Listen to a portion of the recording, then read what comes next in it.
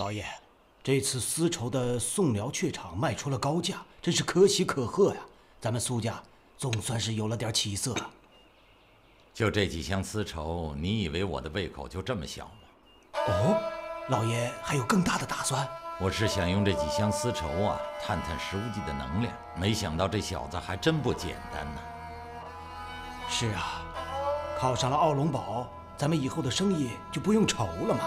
靠奥龙堡？哼，我现在靠奥龙堡是权宜之计。早晚有一天，我要做天下第一商。老爷，就靠咱们现有的生意，这能行吗？我这次到奥龙堡打探清楚了，石无忌能够这么短的崛起，靠的是矿山。矿山？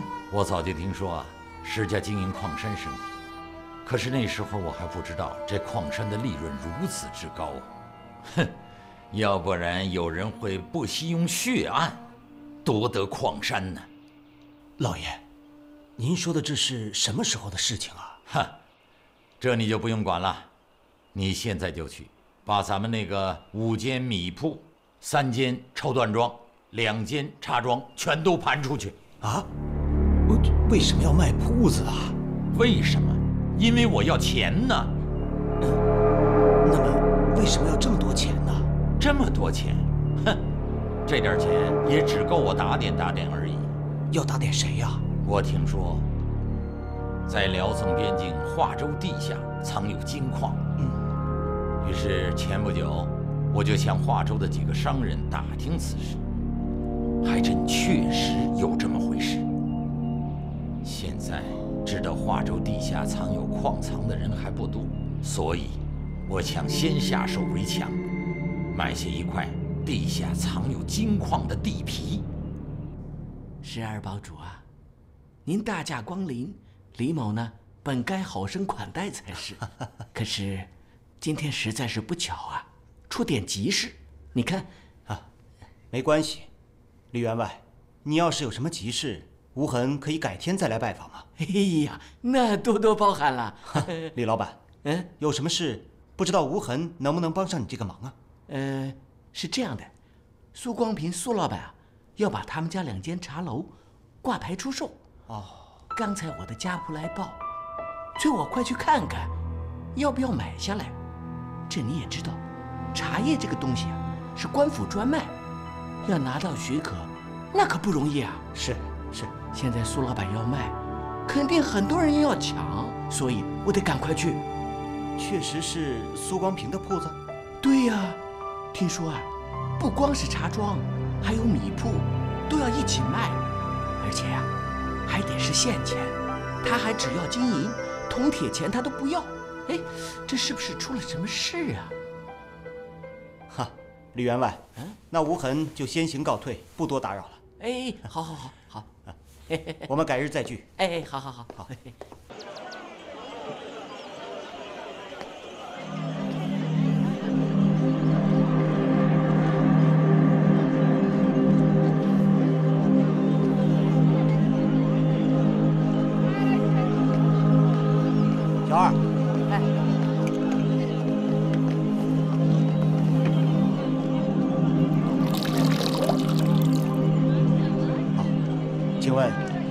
对面苏家米铺出售的牌子挂了有多久？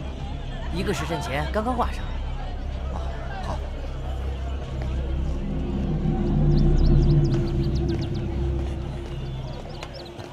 孙员外慢走。小二。哎。这个人你可认识？啊，认识，姓孙，是我们杭州城的大户。好。慢走，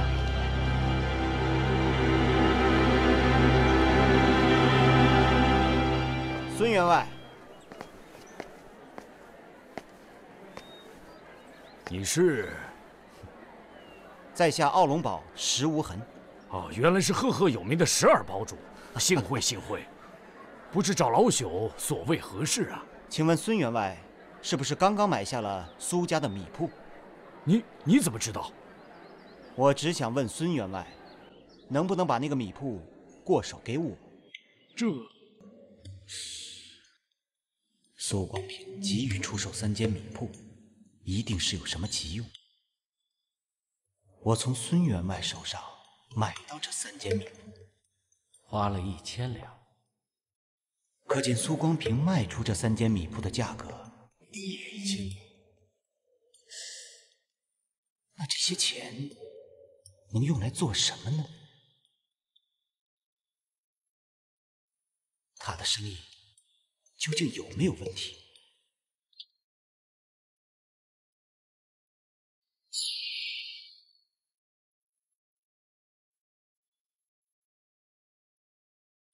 也许这些账册告诉我什么。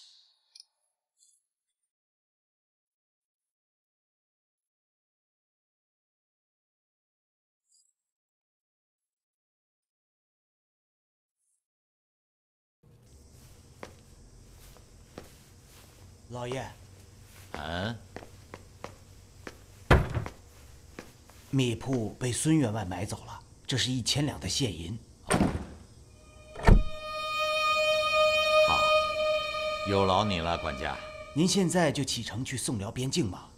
不急，我临走之前还要做些准备。准备？什么准备啊？这一千两银子也就够打点那些贪官污吏的。我要想买下那块地，还要为那些农户准备另一笔银子啊！老爷，这铺子都卖了，如果再要筹钱，只能卖卖宅子了。他山之石可以攻玉嘛。我虽然没有钱了，可是我可以找别人帮我赚钱呀。哦，那找谁帮忙啊？奥龙堡，我那姑爷石无忌呀。石无忌。哎，你把这封我写给奥龙堡的信发出去，过几天我就去奥龙堡拜访。好的，老爷，那我先走了。嗯。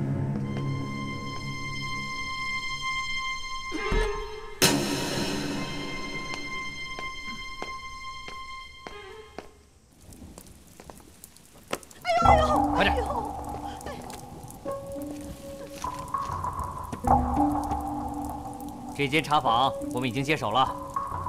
什么？怎么回事啊？小点声！金夫人交代，不能惊扰别的客人。金夫人？什么金夫人？你甭管是谁，反正这个茶坊是我们的了。你们要在这干，就继续干；不干，滚蛋！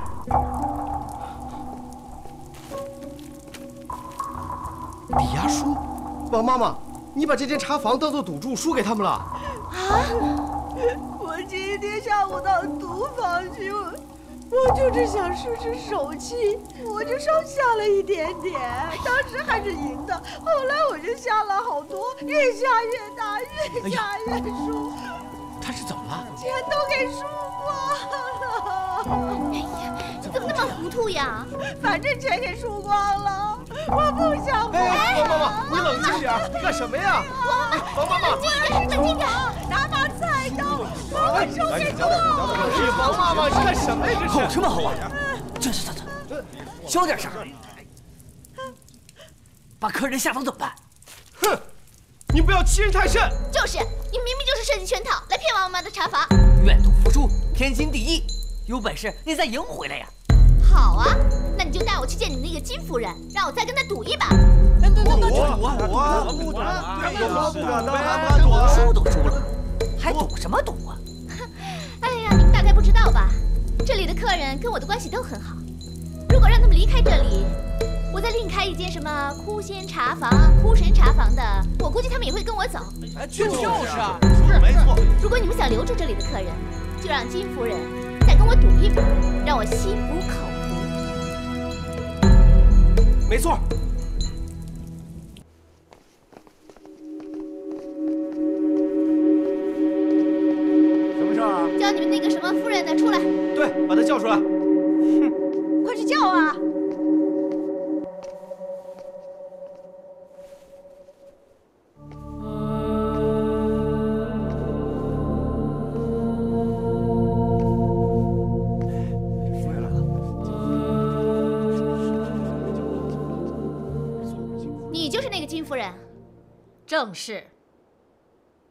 呢？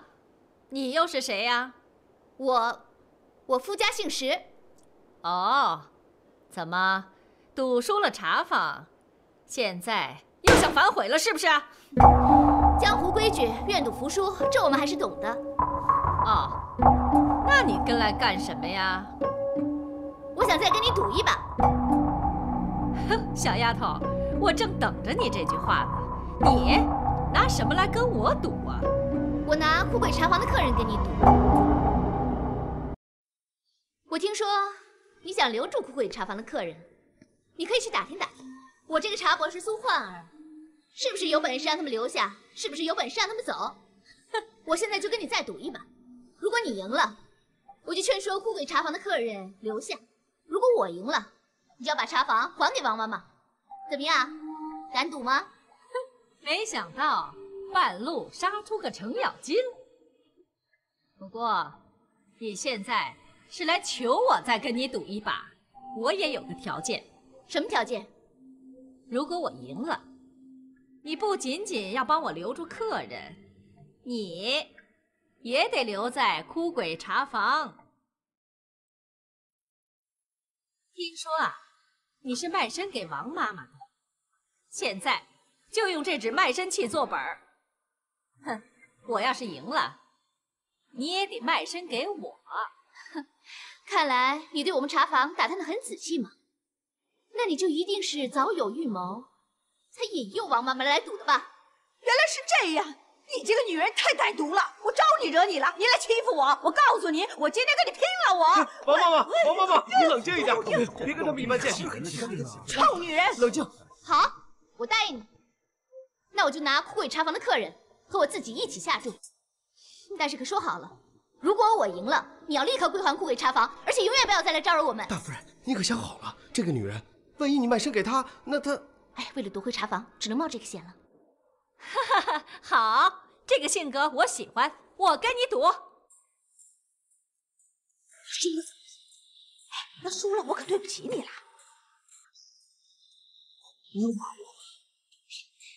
既然赢，就不能这么走了。我拼了！开始吧，慢。哦，怎么又不敢了？用你这儿的骰子，我怎么敢赌啊？你当我傻啊？用你动过手脚的骰子来跟你赌？好啊，那你说怎么赌啊？呃，拿一块绿豆来。绿豆啊？对，绿豆。我们每个人抓一把绿豆，然后说出自己手里的绿豆的个数是单数还是双数，说中就赢，没说中的就输。三局两胜，怎么样啊？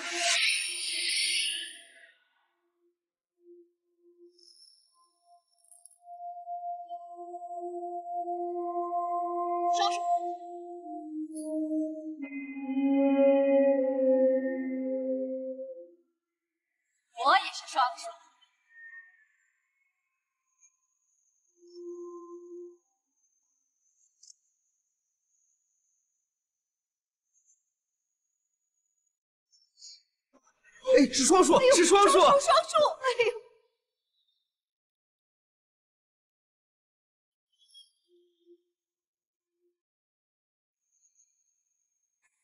还是双数，我是单数。这边也猜对了，他们也猜对了。最后一局定胜负。豆子，豆子，我跟你相处了十几年，你可千万不要辜负我呀！还是双数，还是双数，还是双数，又是双数啊！三次都是双数，我相信他。买定离手，说出去就不能变了。本来就没想。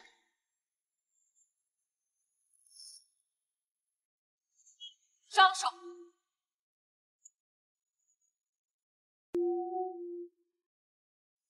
哎呦，是双数，是双数，太好了！哎呦，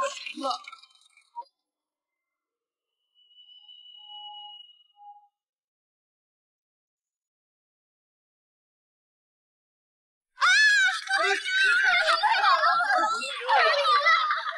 我们赢了！站住！太厉害了！把抵押书拿来！交出来！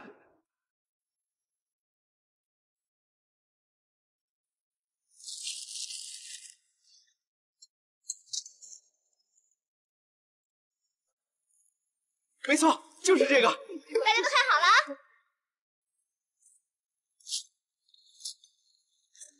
啊！来来来，各位观众来看看，从即日起，茶水一律涨价十贯。王妈妈，听说你这茶房失而复得，你不降价酬宾，怎么还涨价呀？哎呦，瞧你说的，我不是赌博输了钱吗？从你们这儿找补回来呀！你们这些大富商，告诉你们，多花几个钱有什么了不起的？哎，来来来，进屋进屋进屋！里边请，里边请，来快进钱啊！进钱！哎，来，里边请。听说这是新茶呀，无忌大哥，你看，你看大嫂啊，她多能干。真对不起，今天客人太多了，都没来得及跟你们打招呼。没关系，大嫂，你去忙吧。你今天好不容易来一趟，我都没顾上你。茶博士，来点杯茶。来了，我有话要跟你说，你等我一下，别走开啊。这涨价，自有它涨价。石堡主，您今天怎么有空过来啊？啊，我今天有点事儿。啊，感谢你这么长时间照顾内子啊。石堡主客气了。无忌大哥，其实莫白是个读书人，只是因为他父亲最近腰伤，才出来干活补贴家用的。是吗？府上是哪里的？我的父母是渔民，他们就是负责给府上提供河鲜的。原来是这样啊！难得你父母有这份心供你读书啊！哎，那你在这里做工，岂不耽误学业啊？哦，不会耽误的。读万卷书，行万里路。我虽然行不了万里路，但是在这里我可以增长很多的见识。尤其来这里的都是一些士大夫，听他们的谈话，我对当今的朝政了解很多。英雄不问出处。你将来必成大器。感谢石堡主的夸奖，我还有事儿，那就先走了。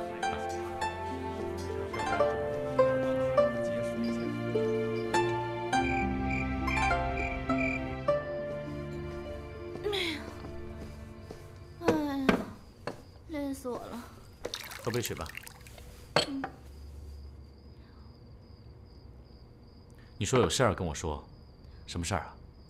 你认识金夫人吗？不认识。真的，真的。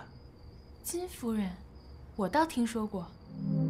最近我听了关于她的一些传言，这个人很神秘，也不知道是从哪里来的。她手里有大把的银钱，一下子在城里开了好几家赌坊、当铺、妓院和青楼。大嫂，你问她做什么呀？哦，我我昨天见过她，我怀疑他故意设圈套来霸占王妈妈的茶房。无忌，你真的跟这事儿没有关系吗？我记得上次跟你说过我卖身给王妈妈的事儿，你说你要解决，所以你是不是为了帮我，找了金夫人来对付王妈妈呀？哎呀，其实这事儿我可以作证，跟堡主一点关系都没有，都怪我，我这个人不是喜欢赌博吗？差点中了金夫人的圈套，做对不起堡主的事情。哎呀，多亏你来帮忙嘛。原来你们认识啊，王妈妈，你不用跟我说对不起。这间茶房我既然给了你，就算你一把火把它给烧了，我也不会说什么。你们到底在说什么呀？我怎么一句都听不懂？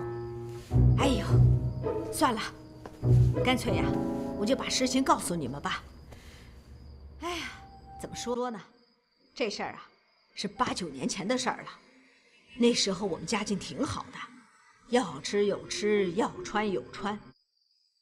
哎，可是不知怎么回事，我鬼迷心窍，找了个死鬼，整天在外面吃喝嫖赌，样样俱全，把我家产全都输光了，害得父母双亡，不如一死了之啊！哎哎哎呦哎呦哎呦！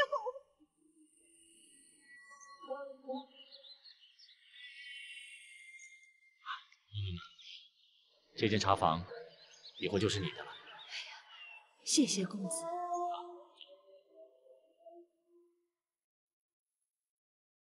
所以说呀，堡主就是我的救命恩人，你们知道了吧？别这么说，其实这些年你也帮了我不少。要不是你查访这些客人们，我怎么会知道那么多关于朝中的消息呢？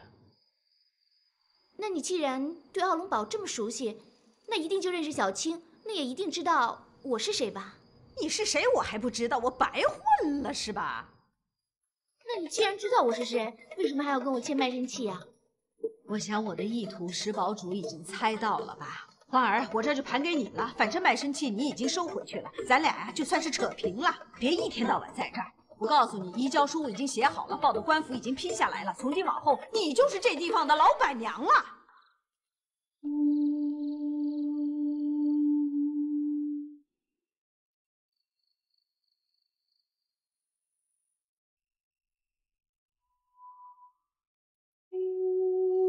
没想到，枯鬼茶坊和奥龙堡还有这么一段隐情。是啊，你们奥龙堡真是高深莫测，石堡主真是人中龙凤。想必小青姑娘也一定很倾慕石堡主吧？不是倾慕，是钦佩。无忌哥哥就像一座高山，我永远是山脚下一棵望着山顶的小草。所以你对石堡主只有兄妹和主仆的情谊。谢谢你，谢谢你告诉我这些，也谢谢你问到这些。小青姑娘，你真是一个很特别的姑娘。小青姑娘，你相信吗？早晚有一天，我一定会像石堡主那样，变成一个有力量的男人。我相信。你愿意等我吗？为什么？我相信你可以成为一个有用的人，但这并不是我对你的期望。而且我希望你可以有你自己的人生，自己走的路知道通向哪里。如果决定了，就继续走下去。从现在起，以后的每一天，我决定要跟你一起走。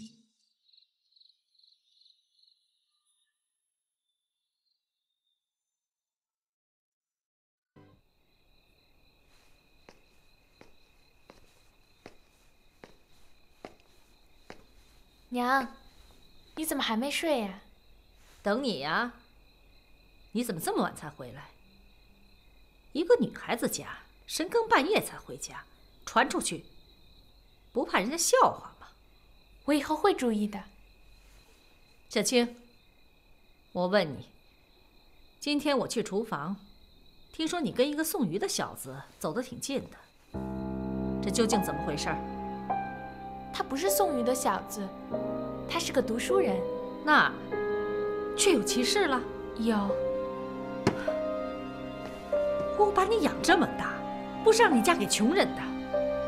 即便你不能给无忌做二房，在外面总可以找一个像样的人家嫁了吧？你怎么跟一个渔户人家的小子混在一起呢？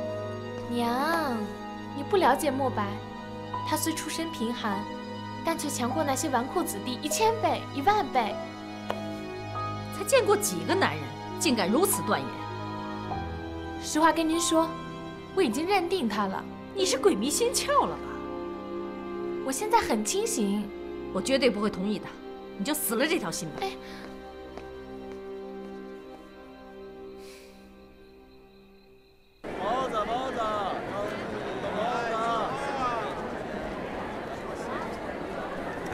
怎么突然来了这么多灾民？还不是因为北边在打仗，咱们宋兵打输了。最近几次交战，宋军连连战败，边境百姓的日子也不好过，很多人流离失所，都逃到这边来了。我也听说，最近城里多了很多难民。为什么连连战败？咱们那帮官兵是干什么吃的？朝廷每年给他们拿出那么多俸禄，他们却连百姓都保护不了，真是叫人急，让人恨呐！无忌，打仗之事，没你想的那么简单。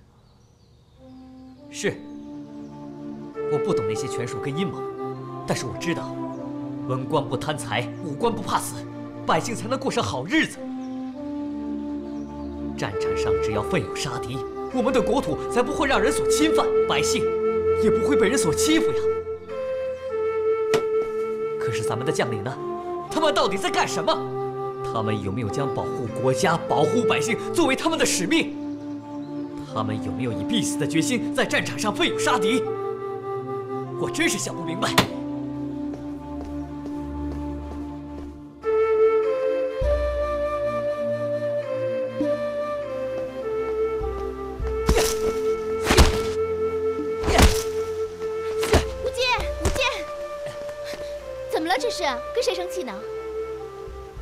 自己生气，为什么？恨我自己无能。到底出什么事儿了？好吧，那你觉得你在这儿乱发脾气能解决问题吗？不管是什么事，你有自己的态度是对的，但是光发脾气是不能解决问题的。你要相信你自己能做点什么，就算不能扭转乾坤，但只要你做了，就一定有意义。总比在这儿拿树撒气有意义，是不是？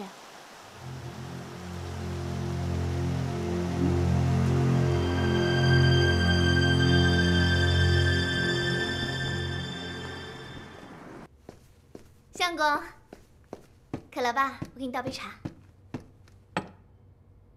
大少爷，大少爷，大夫人，不好了，三少爷去北边了。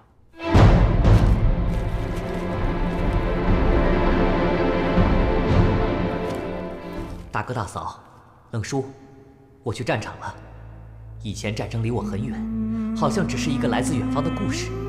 可是最近，我看到了因战争而蒙难的百姓，我才知道我应该保护他们。男儿何不带吴钩，收取关山五十州？你们就等着我胜利的好消息吧。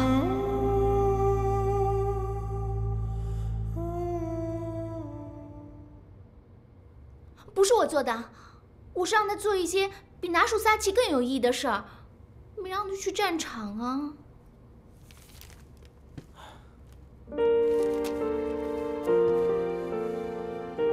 他去吧，他也该长大了。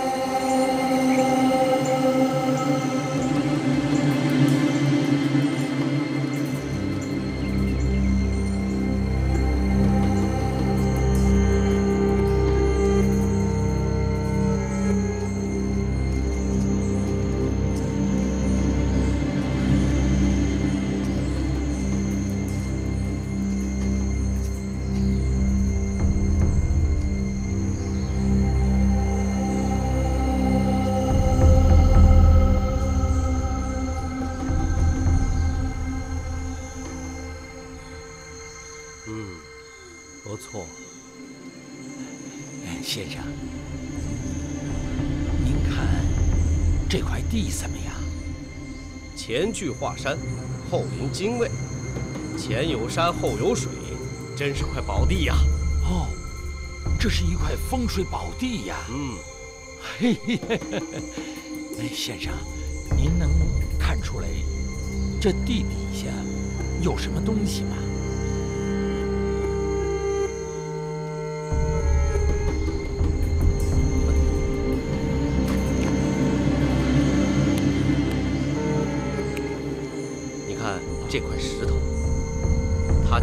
礁石，这是金矿的伴生矿，只要有它在的地方，一般下面都埋着金子。您您您说什么？您说这儿能挖出金子来？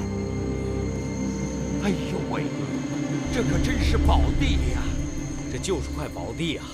先生，我谢谢您了，您辛苦了。谢谢老板，谢谢老板，那在下告辞了。哎，哎，先生啊，先生，我想求您帮我保住这个秘密。那当然，行有行规，我懂的。好，哎，谢谢您。啊，告辞。哎你真要在这里挖矿啊？这是老天爷赐给我的发财机会，我绝不能错过。可是，这边那么多农户，你让他们一个个搬走？唉，有钱能使鬼推磨嘛。这倒是，如果这价钱出的高的话，他们愿意把地都卖了。我才不会出高价钱，我会用很低的价钱把他们赶走。你打算怎么做？只要官府一出面，那些个穷鬼就不敢造次。我只花很少的一些钱，就可以让他们全都搬走。如果真有不从的，那就只好请他们住官府的大牢喽。这倒是最有效的办法。这也是我请耶律公子来这儿的原因呐。耶律公子，我知道你对这两国边境的官员都很熟悉，怎么样？能不能帮我引荐一下此地的知州大人呢？你要征地？嗯，这事儿可不是什么小事儿。况且，这么一大片地，你就放心吧，耶律公子，银子我带的足够。只要这儿挖出金子来，耶律公子就有你的一份儿，怎么样啊？那就五五分成。嗯，你啊。耶律豪见过知州大人。哎，见过大人。免礼吧，咱们在外面相见，行这种礼，让别人觉得奇怪啊。嗯，那这边请，这边请。啊啊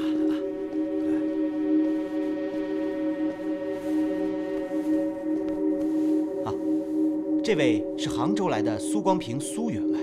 呃，这次请大人来相见，是苏员外有要事相求啊。杭州来的。啊，来我们这种蛮夷之地有何贵干啊？哎呀，大人，您太客气了，此地可是宝地呀！宝地啊，我怎么不知道啊？大人是这样，呃，我有一位会看风水的朋友，告诉我我的命里和此地相通啊，他让我来此地置办土地，不管这土地如何用。都能保证我顺风顺水，且能有意外之财呀，大人。那您是来买地的喽？哎，正是正是，还望大人行个方便呀。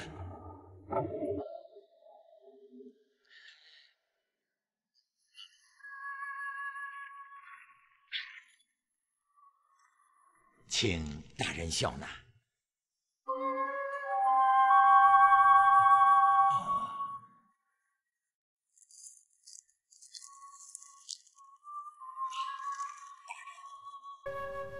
那苏大人看上哪块地了？啊，就是西坡呀。好，就西坡。哎呀，谢大人，谢大人。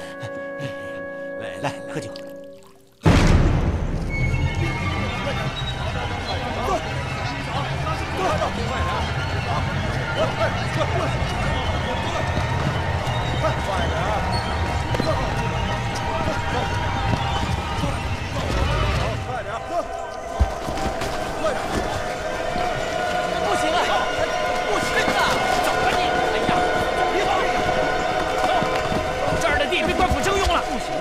速速搬走！我们祖祖辈辈都住在这儿，田是我们的，屋也是我们的，凭什么让我们搬我们就搬呢？就是啊，凭什么呀？官府不是不给你们银子了吗？那几个钱够谁活呀？够谁活？官府让你们搬你们就搬，啊，要不全都送进大牢里去，吃顿饱饭。走啊！哎，走，走吧你，快走！要不然把你们抓进大牢。走走。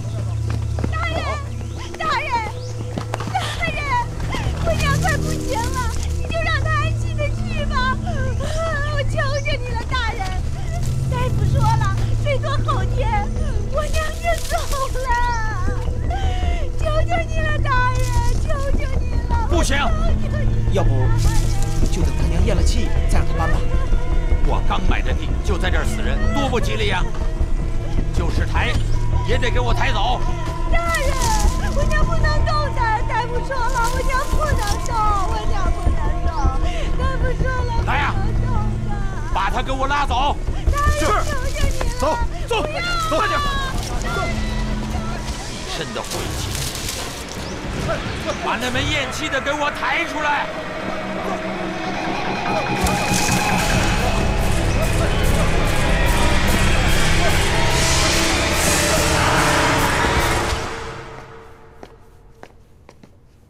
哼，这帮穷鬼，哼。哎，你今天这么做。是不是有点过分了？过分？谁也别想挡我的路！哼！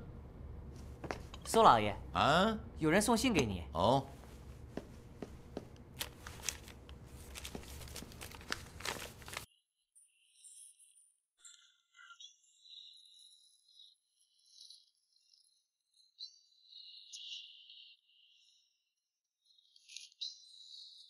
看来是该去趟奥龙堡了。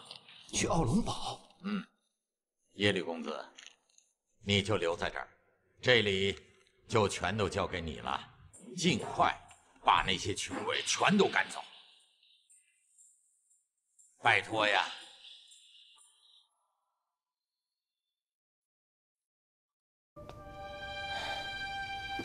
这个苏光平比石无忌还可怕。石无忌手段虽狠了点好歹还是个君子。这个苏光平，简直就是没有良心。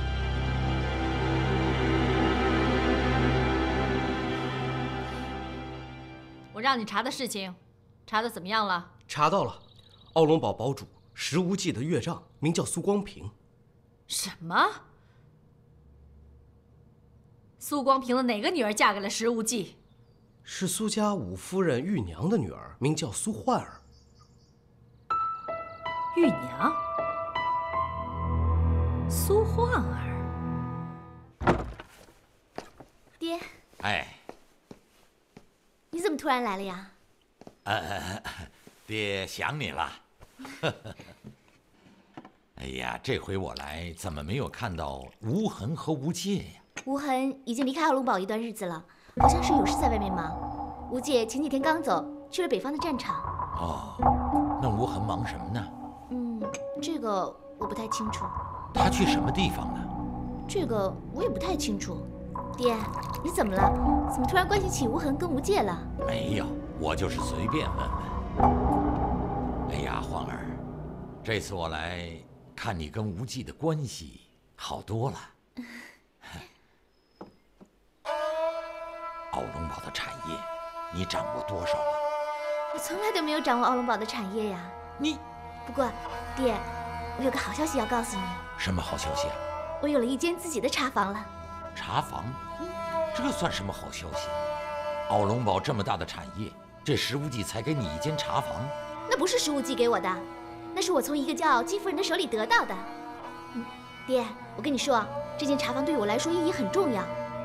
我觉得我再也不是石无忌的附属品了，我可以有自己的产业，可以平等的跟他对话了。这算什么？重要的事情你不要忘了，要尽快得到石无忌的信任，这样你才能得到更多的奥龙堡的产业呀。这一点千万不能忘了呀。嗯。哎，这才是爹爹的好女儿。哈哈哈哈哈。老婆子，老婆子，快看，快快快快，快看这个！哎呦，老头子，你在哪弄了一张大姑娘像？你想干嘛呀？想找二房啊？你趁早死了这份心。我告诉你，咱们家现在没钱，就是将来儿子当了状元，你也不许找二房。你，你这说的哪儿跟哪儿啊？我一句话没说呢，你就咔嚓给我一顿。我是说的这个画像。不是我，我知道上面画的是大姑娘，不是你。是，不，这，哎呀，这是墨白，它也不像墨白呀。是，这画不是墨白，可是这画夹在墨白的书里。哦，是从儿子的书里头拿出来的啊？哎呀，不好，怎，怎么怎么不好了？你这个榆木脑袋呀！咱们儿子是未来的状元，那是要给皇帝当驸马的。这万一要是被不知名的那个姑娘缠上了，这可怎么办呢？那怎么办呢？怎么办呢？看来呀，得我这个未来的状元娘，皇帝的亲家母出马了。那怎么办？咱们就拿着这个像，把这个姑娘找出来，让她离咱们儿子远远的。好，你说的好。哎。可不对呀，老婆子，这姑娘是谁也不知道啊！你不能让我拿着这个画像蹲大街上，来一个推一个，来一个推一个，那那什么时候是个头啊？这个，为了咱们的儿子，这样做也值。值。哎，老婆子，坐坐坐。哎呀，这姑娘我好像在哪儿看见过呀，蒙住了，一时想不起来了。你见过，咱们墨白也见过，那会是谁呀？哎，我想起来了，是谁呀？小青姑娘。小青姑娘，奥龙堡的小青姑娘。哦，就是那个奥龙堡，丫鬟不像丫鬟，小姐不像小姐的小青姑娘。对，就是她，绝对没有错。大嫂，小青，哎，小青，你来了。嗯，小青，你去那边等我一下吧，我马上就过来。来，里边请。